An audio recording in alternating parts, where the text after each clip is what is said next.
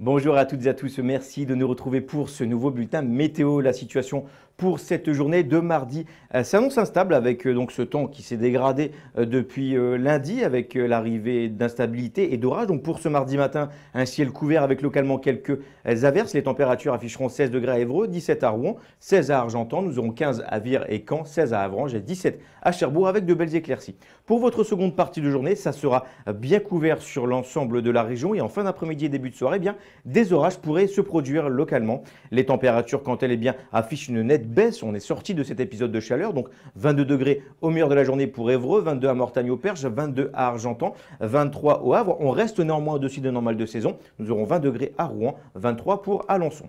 Pour votre tendance pour la journée de mercredi, un temps qui restera encore bien couvert sur l'ensemble de la région, mais la situation s'assagit tout de même avec simplement euh, quelques nuages et quelques gouttes très localement, mais rien de bien méchant. Les températures afficheront 20 au meilleur de la journée à Rouen, 22 à Argentan, 20 degrés à Cherbourg, 23 à Avranches. Nous aurons 21 pour Mortagne au Perche ou encore pour Alençon.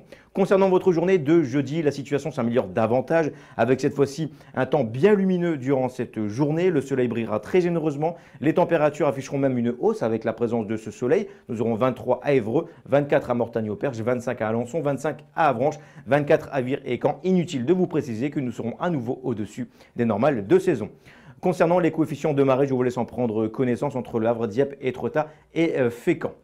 En ce mardi 12 septembre, euh, n'oubliez pas, nous perdrons encore quelques minutes de soleil. Je vous souhaite à toutes et à tous de passer une excellente journée. Je vous dis à très bientôt pour un nouveau bulletin météo.